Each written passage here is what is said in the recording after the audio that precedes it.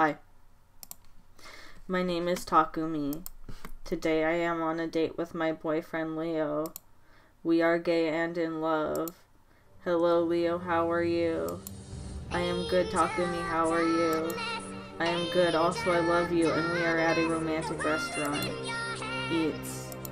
Eats. Okay, now let's go back to my place. Okay. Hi, welcome to my bedroom. It's sexy just like you. Can I pee on you? Of course. Hmm. Yummy. Hmm. Emptying my piss organ. Leo. Leo. Bro. I killed him. I killed my boyfriend, Leo, by drowning him with my piss. My court date is tomorrow. I miss him so much. For the first time in my life, I have ended someone's life using my penis. It's kind of hot. I get hard just thinking about it.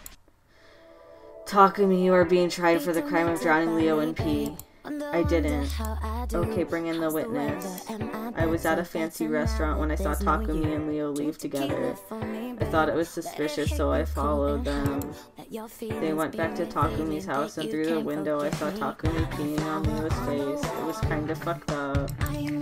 Okay, it looks like Takumi is guilty of drowning Leo with pee. Please, you don't need to do this.